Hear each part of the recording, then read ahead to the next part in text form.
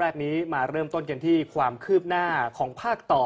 คดีหวยโอลเวง 30 ล้านบาทนะครับ โดยเฉพาะประเด็นที่จะเอาผิดตำรวจที่เข้าไปครอบงำการทำสำนวนคดี วันนี้ผู้บังคับการปราบปรามเข้าร้องทุกข์กับปปปแล้วนะครับ เพื่อเอาผิดอดีตผู้บังคับการตำรวจภูธรจังหวัดกาญจนบุรี ฐานละเว้นการปฏิบัติหน้าที่ตามมาตรา 157 ครับพลตำรวจตรีไมตรีฉิมเฉิด ผู้บังคับการปราบปรามเดินทางเข้าให้ถ้อยคำร้องทุกข์ กับพนักงานสอบสวนปปป เพื่อเอาผิดพลตำรวจตรีสุทธิพวงพิกุล อดีตผู้บังคับการตำรวจภูธรจังหวัดกาญจนบุรี หลังจากผู้บังคับการปราบปรามเป็นหนึ่งในนายตำรวจระดับสูง ที่สอบปากคำพลตำรวจตรีสุทธิ แล้วก็สอบปากคำพนักงานสอบสวนในคดีหวยโอลเวง 30 ล้านบาทที่จังหวัดกาญจนบุรี นำข้อมูลครับแล้วก็หลักฐานต่างๆ มาใช้ในการดำเนินคดี กับพลตำรวจตรีสุทธิตามมาตรา 157 ฐานละเว้นปฏิบัติหน้าที่ โดยข้อมูลส่วนหนึ่งที่ให้กับปปป เป็นข้อมูลจากเอกสารลับ ที่ไปเจอพฤติการอันเชื่อได้ว่าเข้าไปเกี่ยวข้องกับการทำสำนวนคดีครับ ด้านผู้บังคับการปปป ก็บอกว่า หลังจากนี้ก็จะรวบรวมพยานหลักฐาน และแจ้งข้อกล่าวหากับพลตำรวจตรีสุทธิในสัปดาห์นี้ครับ หลังจากนั้นก็ส่งเรื่องให้กับปปช พิจารณามูลความผิดครับ ทางปปปทางพี่โตนะครับ ก็บรรณาการเป็นแล้วก็ทีมสอบสวนก็สอบสวนอยู่นะครับ สอบสวนรวบรวมพยานหลักฐานอยู่ ย้ำในเอกสารลับ 4 แผ่นได้ไหมฮะในพฤติการการทำผิดของท่านสุทธิเอกสารลับ 4 แผ่นเกี่ยวกับที่ทำเสนอพบตรก่อนหน้านี้อะฮะ ก็มีส่วนหนึ่ง ตรงนี้ก็คือคำให้การส่วนหนึ่งครับในการผูกมัดท่านสุทธิใช่ไหมครับ อย่าพูดว่าผูกมัดเลยนะครับ เป็นการให้ข้อมูลพยานหลักฐานแล้วกัน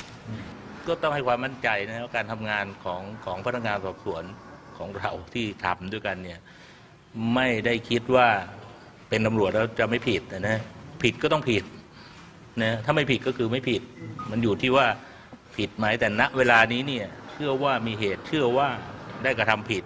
นะเบื้องต้นก็ต้องร้องทุกข์นะครับร้องทุกข์เสร็จพยานหลักฐานได้มีพยานบุคคลยืนยันนะมีพยานเอกสารยืนยัน เพียงพอก็ฟ้องศาลแค่นั้นเองไม่ได้มีอะไร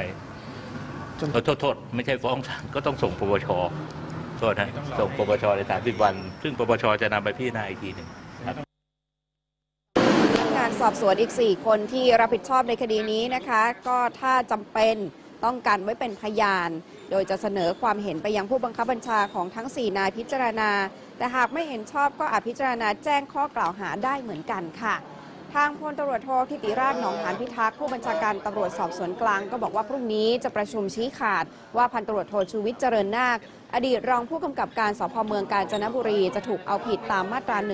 157 ก็คือละเว้นการปฏิบัติหน้าที่หรือว่าปฏิบัติหน้าที่โดยมิชอบเนี่ยนะคะ หรือว่าอาจจะถูกกันไว้เป็นพยาน แต่ว่าที่แน่ชัดก็คือร้อยตำรวจเอกจิรยุทธ์ได้ถูกกันไว้เป็นพยานแล้ว ส่วนการดำเนินคดีกับกลุ่มที่เกี่ยวข้องในคดีหวยอลเวงเพิ่มเติมเนี่ยยังอยู่ระหว่างการสืบสวน ซึ่งเหลืออีก 2 กลุ่มที่เตรียมดำเนินคดีค่ะ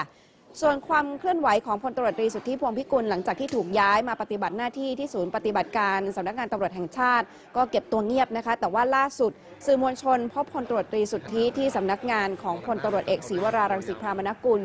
ซึ่งทันทีที่เห็นสื่อก็มีสีหน้านิ่งค่ะ แล้วก็เดินหลบเข้าไปข้างใน แต่ว่ายังดูระแวงนะคะ แล้วก็มีการหันหลังมามองสื่อก่อนจะหายเข้าไปในห้องค่ะ ผู้สื่อข่าวสำนักข่าวไทยรายงานนะครับว่าพลตำรวจเอกจากทิพย์ชัยจินดา ผู้บัญชาการตำรวจแห่งชาติ เตรียมตั้งโต๊ะแถลงข่าว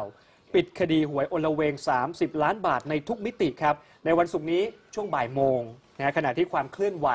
ของครูปรีชาเมื่อเช้านี้เนยนะครับก็ออกจากบ้านไปสอนหนังสือตามปกตินะครับเมื่อช่วงเช้านี้ก็ได้นำถุงกระดาษสีน้ำตาลเนี่ยปิดบังใบหน้าอืมไม่พูดกับสื่อนะครับค่ะแล้วก็รีบขับรถ